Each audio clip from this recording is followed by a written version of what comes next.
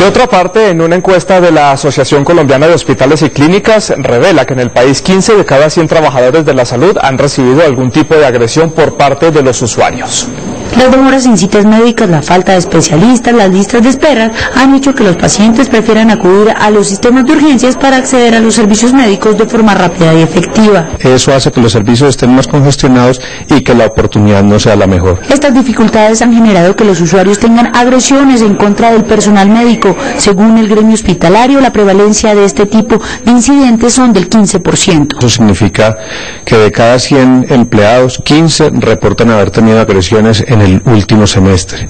Tienen identificados los principales problemas por los que los usuarios reaccionan de mala manera. Más del 60% de los agresores se identifica que la causa es el tema de la espera hay, hay otros motivos, que por ejemplo cuando la gente no está de acuerdo con la clasificación del triaje, porque no le dejan entrar más acompañantes.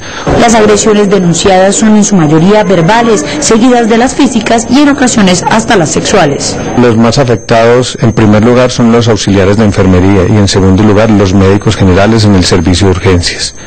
Del personal administrativo está los porteros de las instituciones y el personal de seguridad.